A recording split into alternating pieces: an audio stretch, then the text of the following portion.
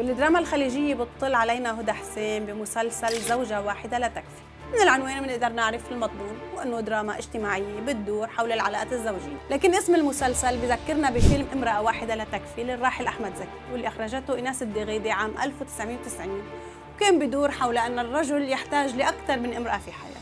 إضافة إلى هدى حسين بشارك بطولة المسلسل نور الغندور اللي بتقوم بدور بنت هدى حسين. واللي لاحظناه بالبرومو انه نور الغندور ظهرت لمحة قصيرة جدا وكأن ليست إحدى البطلات الرئيسيات بالعمل. ويبدو هالشيء أزعج نور وما نشرت البرومو على صفحتها على الإنستغرام. واكتفت بنشر البوستر لصورتها وحدها هالشيء بخلينا نتساءل عن سبب تهميش نور الغندور بالبرومو. بوقت تصدرت كبطلة من فترة قصيرة جدا بمسلسل عرابة بيروت واللي هو كمان من إنتاج جمال سنان. تتر المسلسل أثار لغط كبير حوله لأنه انتشرت أخبار أنه رح يغنوا أربع فنانات.